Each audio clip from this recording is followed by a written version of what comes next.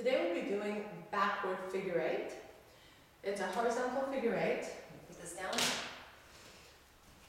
So it's two movements in one. You really want to engage your oblique muscles and the psoas muscles right here that's attached to pubic bone all the way to the spine.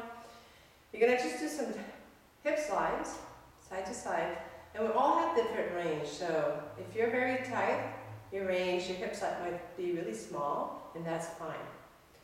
The more you do it, the more you'll gain flexibility. So side to side. So your knees are not locked, they're soft.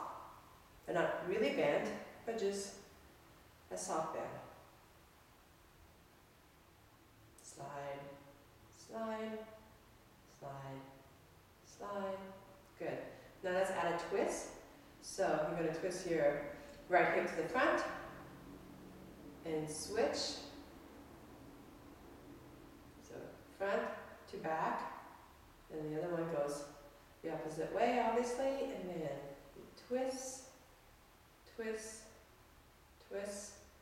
Again, I'm not, my knees are not locked. Now you're going to put those two movements together, and that's going to make your back a figure eight. So I want you to slide your right hip to the corner, and then twist that hip towards the back. Left hip to the corner, slide and twist. Slide and twist. Slide and twist. Slide and twist. Slide and twist. Slide and twist back. Slide and twist back. Let me face the back to you. Same thing. You're going to twist the hip. First, you're to slide and bring it back. Slide to the corner, bring it back.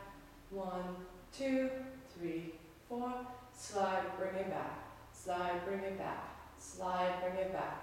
Slide, twist back. Slide, twist back. So you really want to hit those corners and bring it back. And you're drawing a nice figure eight, horizontal figure eight. With your hips.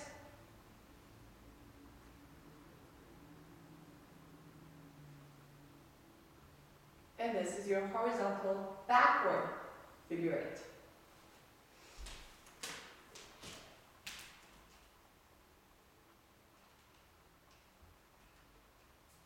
Ah, I think my battery's dying. Okay.